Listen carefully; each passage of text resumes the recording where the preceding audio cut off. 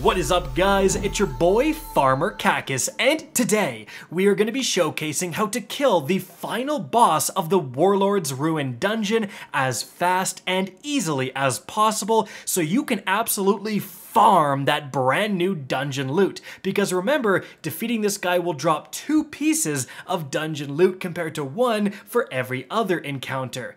So, we're going to be discussing the tips, the weaponry, loadouts, seasonal artifact perks, everything you need to know to get that juicy one phase kill. Heck, you can kill him so fast, it'll be well before you've completed a full rotation. There's going to be platforms you don't even touch, and you're going to be on final stand. Now, let's get things started with some tips for the encounter itself. Importantly, in this video, I am going to be assuming you guys know how to do this encounter and all the mechanics. If you don't, check out my guide linked right up above. First of all, make sure to make the most of that rally flag, switch to a chest piece that has full reserves of your heavy, rally with that, and then switch off of it. Don't forget to do that. Uh, but when the encounter itself starts, the most important thing you need to be doing is extending the damage phases. There's several different mechanics that will result in a longer damage phase. So importantly, on these lower levels, it's just gonna be the amount of those taken like turrets that you defuse by simply standing next to them, that's going to influence the time you get to damage the boss. So you want to be able to defuse all four. Importantly, that means do not kill the Scorn captains right away because you want to wait for them to spawn their extra turret and then you can kill them and they'll spawn another turret on the location they died. Now you can do a burst of damage when they first spawn and then sit back and wait, but you certainly don't want to to be plugging them with damage consistently. And that's because if you make them stagger or if you get too close and make them stomp, that can override their animation of spawning the turret and delay the time it takes for them to spawn that turret. So wait for that turret to spawn the second you see it, then you can absolutely clap some Captain Cheeks. But before then, don't get too aggressive. Then you have those four different uh, turrets. If they spawn close enough, you can stand in between like the overlapping uh, circles and capture them both at the same time. You are going to have those Scorn uh, guys running around, the immune guys that you do need to eventually melee to transfer your buff off of. I would recommend kind of waiting until the last few seconds. Like just stand on the turret, throw a healing grenade, throw a rift, like kind of survive, and then when it's about three, four, five seconds left, you transfer the melee, you get the heck out of there. Now, importantly, there is going to be a little bit of time where those guys are going to despawn and you have just about five more seconds to capture those turrets. So make sure to make the most of that time. Look around if there's one almost captured, run to it and try to get it just before the damage phase actually starts. And guys, importantly, if you get three or four of those turrets defused, you're gonna get like 15 seconds of a damage phase, so use your well. I see so many teams saving their well of radiance until they get to the very top because that's usually where the longer damage phases occur. But if you're on that very first level, as you can see, uh, it is not worth wasting a full like 15 or more second damage phase. You can do a ton of damage. Heck, we're coming out of the second level often with the boss below below half health. So again, make the most of those wells on those lower levels if you do defuse enough turrets for it to be warranted. But guys, let's move on from there and get into the weaponry and loadout recommendations. Now, there's actually a few different kind of strategies you could use to go for that one phase. One of those is just rockets, you know, have someone with a Gjallarhorn, the other two people with incredibly good, you know, legendary rocket launcher rolls. I did do that, however, we found it to be extremely ammo inefficient. If you get unlucky with ammo, you're in a little bit of a tough spot. Another potential method is, uh, you know, hunters with lucky pants to massively boost hand cannon damage and then put on the malfeasance. That thing is incredible, especially with the lucky pants. It does bonus damage against Taken, and the boss is Taken, so that is going to be very ammo efficient. I mean, it's a primary weapon.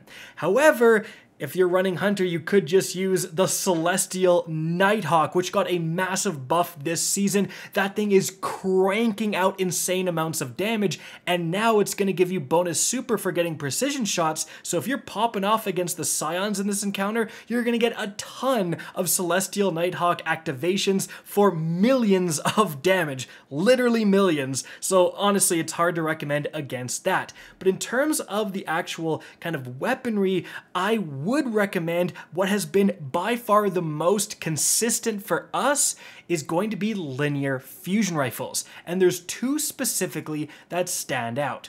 Now, the first one is going to be the Cataclysmic. This is a solar precision frame.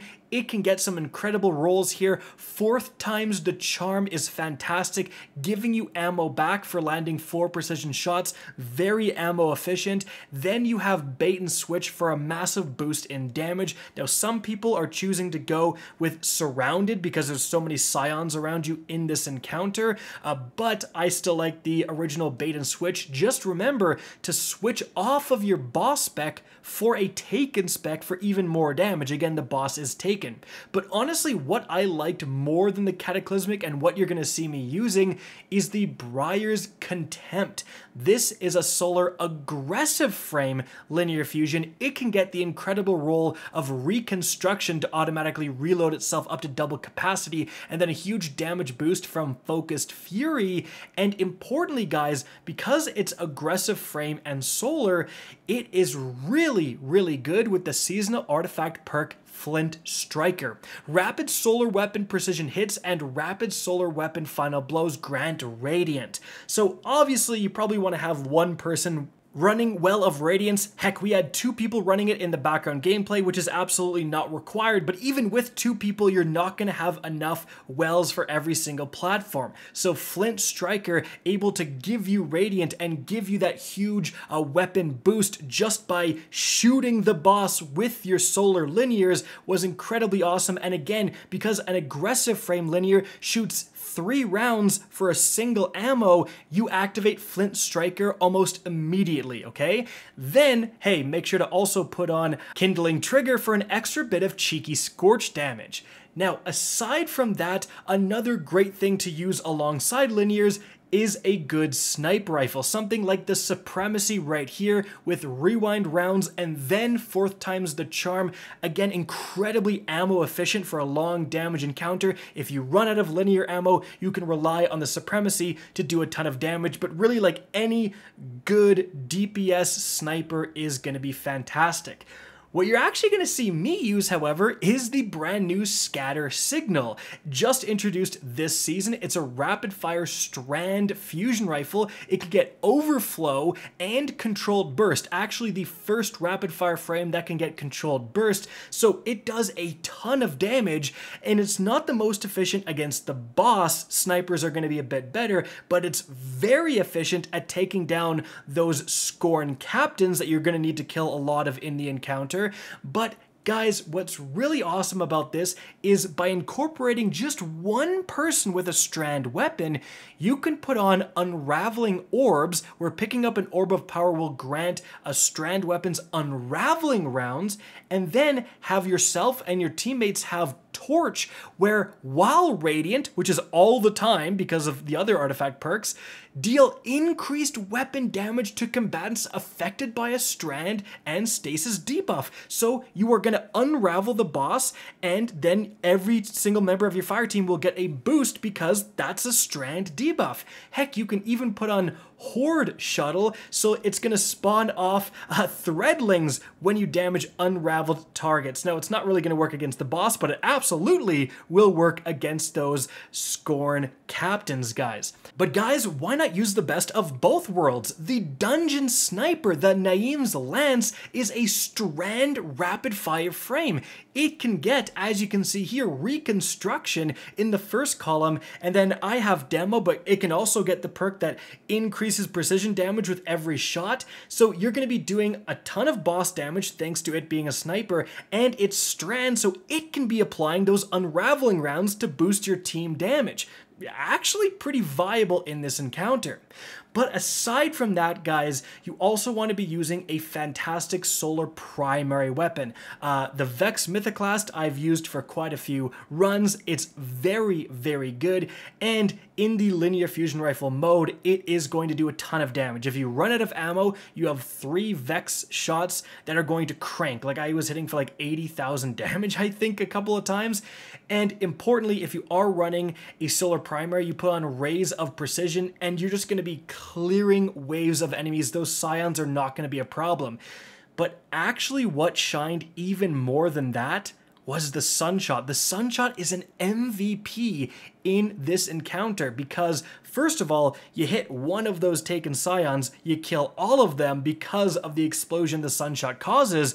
But more importantly, as you can see when you're shooting the Blighted Eyes, one kill will explode and kill the rest nearby. So, especially when you're on the upper platforms where killing the Blighted Eyes will delay the boss teleporting away and extend the damage phase, I mean, you can see in the background gameplay, I've never had more time to damage the boss on these platforms than when I was going to town with a Sunshot because I ran out of all my other ammo. So like, holy crap, this thing is again an MVP for this entire encounter, guys. But moving on from there, another big weapon recommendation is to incorporate someone using trace rifles. Now that doesn't make a lot of sense right now, but that's because if you can have someone playing a warlock and specifically running the Cenotaph mask, this thing is incredible.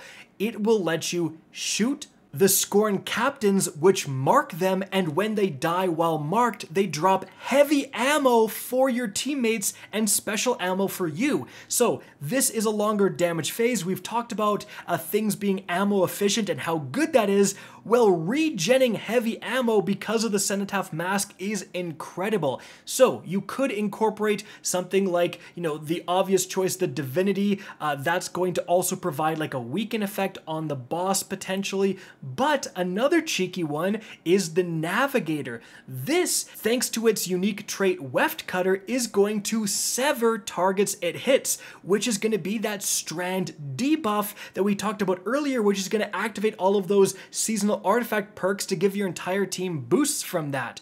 But if you don't want to use that, guys, honestly, a really good choice is just the Appetence. This is a brand new trace rifle just introduced this season and it's strand, so it's in that kinetic slot, which means you can still use your cracked out of its mind Sunshot and then a heavy linear fusion rifle for the bulk of your damage, but you're also able to again generate heavy for your teammates. Incredibly, incredibly good. And then moving on, the last thing you need to incorporate is a way to weaken the boss. Now, traditionally, it would just be running a hunter with tether, but this season, you should be taking advantage of the seasonal artifact perk Revitalizing Blast, causing damage with a solar ability weakens champions and bosses for a short duration. This is incredible. It means that your Well of Radiance Warlock, that you probably already want to be using, can use something like Celestial Fire to hit the boss and cause them to be weakened. Your hunter, that's solar because they're running the incredible Celestial Nighthawk, now they can throw a knife and cause weaken. Like anything solar can throw a grenade, throw a melee, and inflict that weaken effect so you can use all the benefits of being solar and still get those consistent weakens on the boss. Very, very important to do.